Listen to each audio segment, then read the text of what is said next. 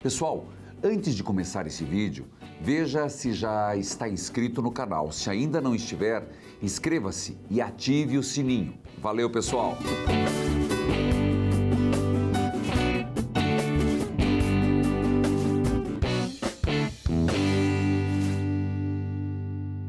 Seriedade sim, rabugice não. Uma pessoa bem-humorada muda o astral de qualquer ambiente, já percebeu? Ajuda a deixar o local menos tenso, deixa as pessoas mais leves e felizes, integra a equipe, facilita as relações, diminui as resistências, permite a manifestação de novas ideias e contribui para aumentar a produtividade. Você já se perguntou se está agindo assim nos ambientes que frequenta? E se leva esse bom humor também para o seu lugar de trabalho? Sim. Pode ser descontraído no seu trabalho sem perder a seriedade que seu cargo exige.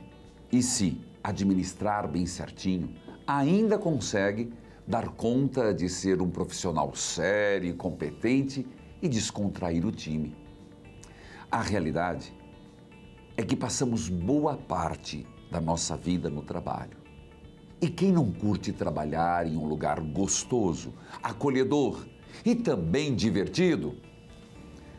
São por inúmeras razões que o bom humor está entre as principais competências dos profissionais de sucesso, pois ele revela um elevado nível de inteligência emocional que, por sua vez, responde por aproximadamente 80% das competências de um líder. Se isso não bastasse, o bom humor ainda ajuda a melhorar a sua saúde, porque o riso estimula a produção de endorfinas e podem melhorar até a resposta imunológica do seu organismo. Agora vem a parte boa, brincadeira. Mas o bom humor e uma boa risada também queimam calorias. Sabia disso?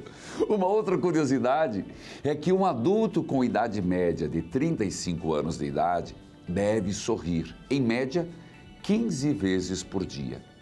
Quem sabe tenha sido um dos motivos que levou Jesus a dizer: se vocês não mudarem de vida e não ficarem iguais às crianças, nunca entrarão no reino dos céus.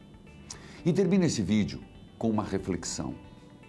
O bom humor, a risada, o lazer e a alegria recuperam a saúde e trazem vida longa.